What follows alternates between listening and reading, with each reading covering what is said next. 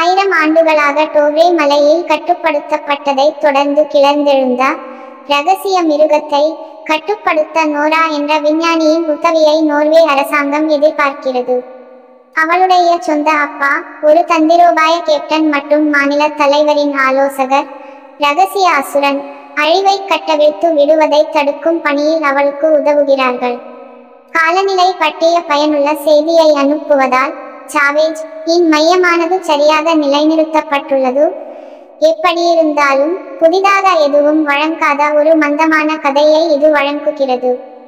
Savage ஸ்காண்டினேவிய புராணக்கதையின் வெளிச்சத்தில் உங்களை ஒருபோதும் அனிமேட் செய்யாது மற்றும் டோட்டோவைப் போல இருண்டதாக இருக்கும். கதை விதிவிலக்காக ஆச்சரியமளிக்கவில்லை.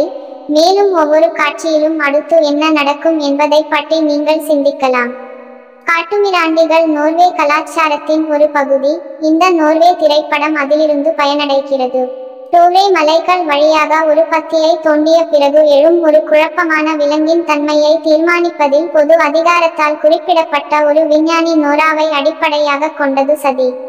பொருத்தமான அனைத்து இராணுவ அதிகாரங்களையும் தெரிவித்தாலும் பொது அதிகாரம் ரகசிய அரக்கனை அல்லது காட்டுமிராண்டித்தனத்தை கொண்டிருக்க முடியாது. டோபியாஸ் அவனது அப்பா மற்றும் உள்ளூர் நாட்டுப்புற கதைகள் பற்றிய பரந்த புரிதல் கொண்ட ஒருவரை சந்தித்து உதவி தேடுவதைத் தொடர்ந்து நோரா சாவேஜின் தீங்கை நிறுத்த தயாராக இருக்கிறார். இத்திரைப்படம் சாவேஜின் தோற்றக் கதையையும் சித்தரிக்கிறது மற்றும் டோவே மலைகளில் பாதுகாக்கப்பட்ட சாவேஜ் தற்போது ரீகல் ராயல் இல்லம் அமர்ந்திருக்கும் வீட்டிற்கு திரும்பி வருவதாக பார்வையாளர்களுக்கு விளக்குகிறது. ஆயிரத்து தொள்ளாயிரத்து தொன்னூற்றெட்டாம் ஆண்டு வெளிவந்த காட்சில்லா படத்திற்கு நிகரான பலவற்றை இப்படம் தாங்கி நிற்கிறது. கதையில் இருந்து சாவேஜுக்கு கொடுக்கப்பட்ட பண்புகள் வரை இந்த சங்கம் மிகவும் விசித்திரமானது.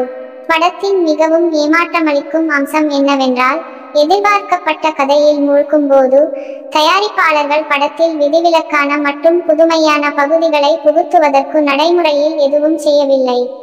ஒரு சில குழுக்கள் நம்ப முடியாததாக காட்டப்படுகின்றன. ஒரு இளம் பெண்ணை தவிர்க்க முடியாமல் கடந்து செல்லும் சாவேஜின் பரோபகார பக்கத்தை படம் சித்தரிக்கிறது.